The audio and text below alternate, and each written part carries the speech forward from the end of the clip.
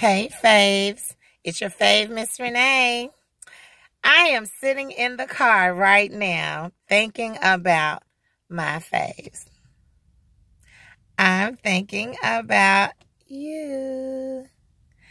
And I'm excited for you. It's the holidays.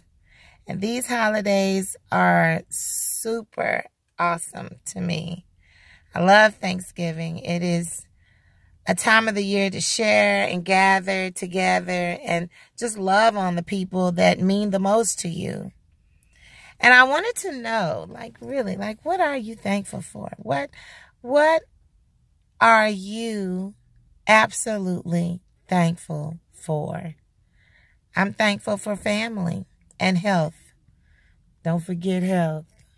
We take that for granted, but it is not always so. Also, um, I'm thankful for, for you. I'm thankful for my faves.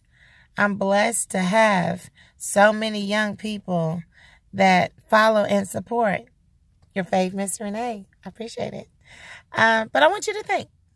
I want you to think about what it is that you truly are uh, thankful for. And I want you to be intentional in your pursuit of thankfulness. So I really want you to dig deep on this one. Because sometimes we feel like, I don't have anything to be thankful for. Nothing good is happening in my life.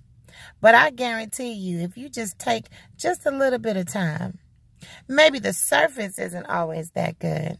But if you dig a little, I know you've got something to be thankful for.